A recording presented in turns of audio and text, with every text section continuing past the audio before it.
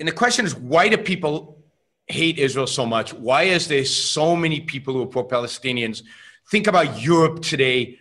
Think about, um, I mean, Europe is dominantly anti-Israel. I mean, I, I, I go to, I, I, speak at the UK all the time, and the dominant people who, who, who are trying to obstruct my speeches and stop me, even though I'm not speaking about Israel, are pro-Palestinian groups. Um, you know, in, in the U.S., I think that the number of people who are anti, particularly among the young anti-Israel, is growing.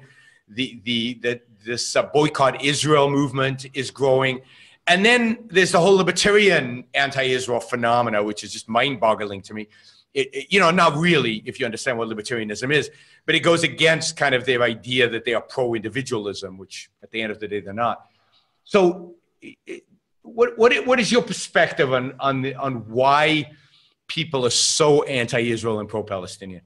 I think it goes to a moral premise that's prevalent in the culture, and I think it connects with both of those communities, both the sort of idealistic students and if you want to put another category the sort of the, the, libertarians that you're referring to. If you think of them as libertarians and it's not clear what that really means. So if you take students, and I've been on college campuses and I met a lot of these students, and um, part of what happens is this: so the moral premise in our culture is that there's a kind of um, sort of you know your attention. The, premise is altruism, as I as Ayn Rand describes it, and I think it takes many forms. One of those forms is it, it programs people's thinking to be oriented to who's the sufferer, who's the underdog, who's down and that matters. That's where your attention should go. And if someone is strong or productive or whatever virtues they actually have, real virtues we're talking about, then that's already suspicious, maybe even necessarily a problem. And you see this both in economic terms and you see it in foreign policy. And, and what happens is that if that's the sort of framing you bring to this issue, a lot of times you don't even look at the, the history. What you know is, wow, I feel really bad for the people suffering in Gaza. And look how poor they are. And Israel is so much stronger militarily and it's punching down and we're helping them. And the Palestinians have this whole history of, and, and some of it is definitely something they, they accentuate and it's a big part of their propaganda is we're the victims here and we deserve your sympathy. And so if you're an idealistic person, the ideals that animate you often are, well, I believe in doing right and I believe in the good, and that means concern with the suffering.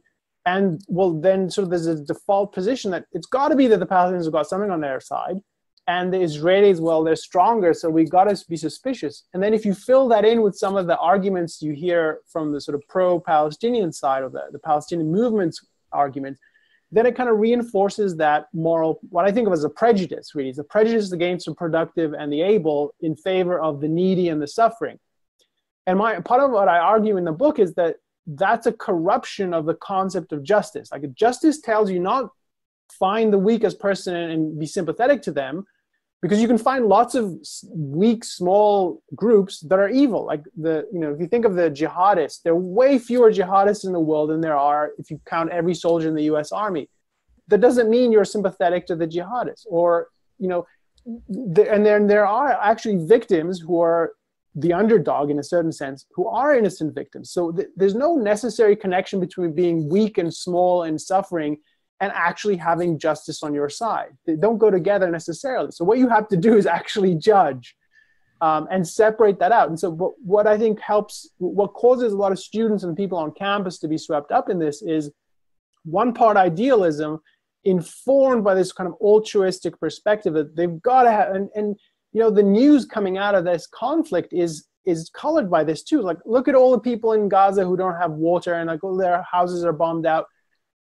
okay, but but well, why are their houses bombed out? What is the conflict really about? What do they believe needs to happen to their opponents? And, and talk about altruism. Just because you mentioned water, Israel is supplying them with the water. Whatever water they have in Gaza is being supplied by Israel, who has developed technology to to desalinate the ocean. There's no water supply in Gaza other than what they get from Israel, which is an act of ultimate altruism because they they're giving water to people dedicated to killing them.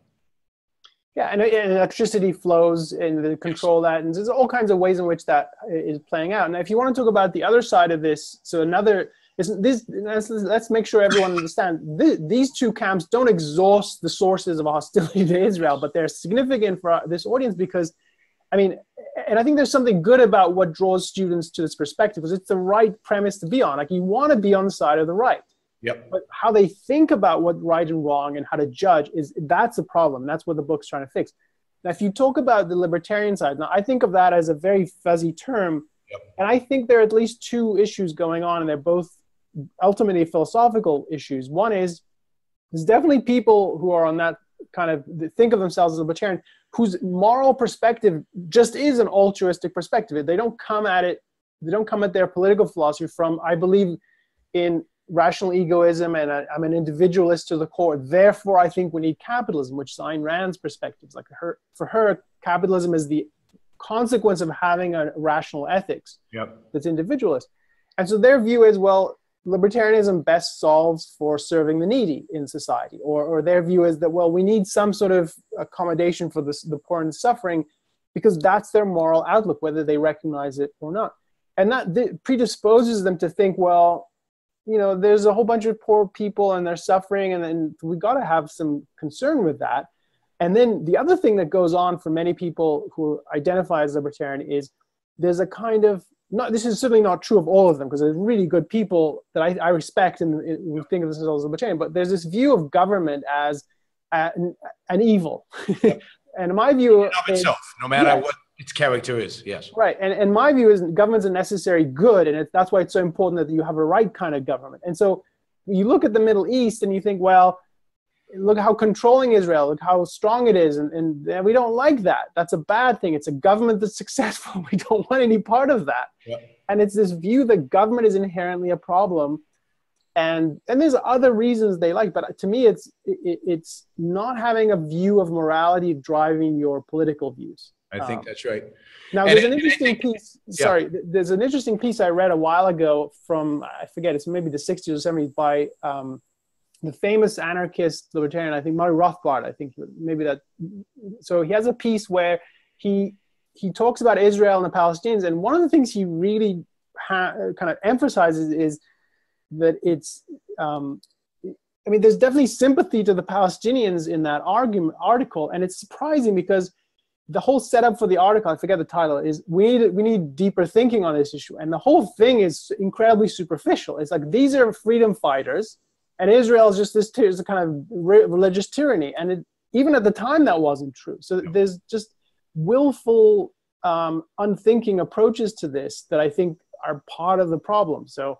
Yeah, no, I definitely think I think it. I think the libertarian subjectivism. There, again, some libertarians, their their altruism, they haven't abandoned altruism. They they they consistently. So somebody here is complaining about Israel bombing children or bombing, uh, you know, bombing houses and so on.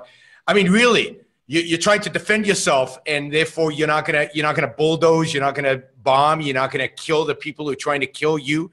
You you just stand there waiting. So there's a pacifist element, mm-hmm. but I think all of it, uh, what underlies much of these uh, anarchist perspective, is really hatred, hatred of the good. It, it's a certain they hate America. I mean, Rothbard, it comes out of this Rothbardian view that there's nothing worse than the American government. The American government is the worst Stalin is better than America. And um, yeah, and if Stalin is better than America, then Palestinians are better than Israel. It, so it's it's hatred of any government that is somewhat successful, right? Even a little bit, because they're successful. So there really is envy and and nihilism, and all driven by kind of a, a horrible, horrible moral subjectivism. And then I would add, particularly in Europe, but I think also more and more here that there's there's definitely anti-Semitism, yeah. definitely an anti-Jewish aspect to all of this because they don't listen to facts. They, you know, they, when when uh, anybody else can defend themselves, right? Uh, uh, France can go to North Africa. Right. and bombard in Mali and, and bomb terror, you know, the, the Islamists and kill women and children, and nobody cares. The French certainly don't care. But Jews defending themselves, that is completely unacceptable. That we cannot tolerate.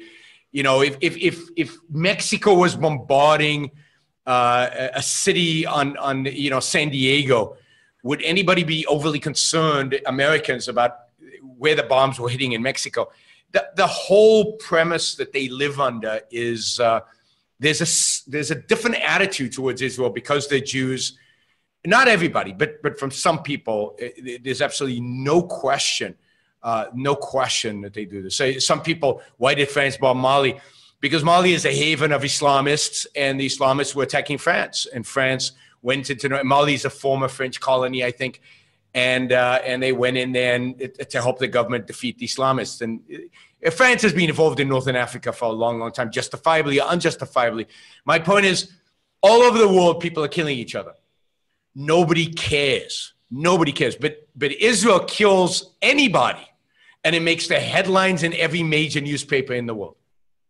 Yeah, I mean, one interesting data point that people can look up is around the time of the first Gaza war, I think it was 80, 2008, 2009, which and that led to a whole UN inquiry about war crimes and so forth.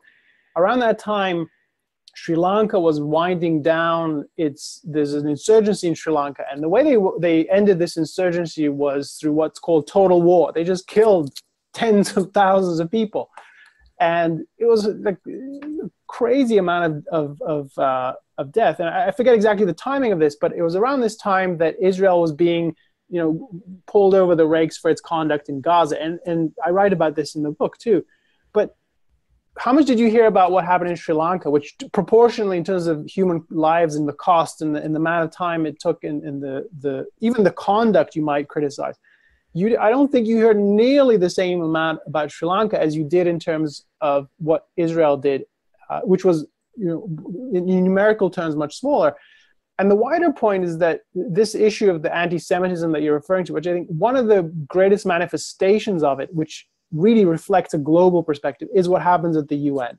So there is in the I don't know ten or so year, however long it's been that there's been a United Nations Human Rights Commission. There used to be a different body, but ever since they reformed it, and, and it's as a rule, they have singled out Israel more than they have singled out any other country, including countries where we see people being killed in the streets, like Iran, and we've seen it in um, in Venezuela and and in all all parts of the world. Those countries aren't given the same kind of treatment and part of it is there's dynamics within the UN, which is, is heavily dominated by these dictatorial regimes and, and sympathetic regimes to them.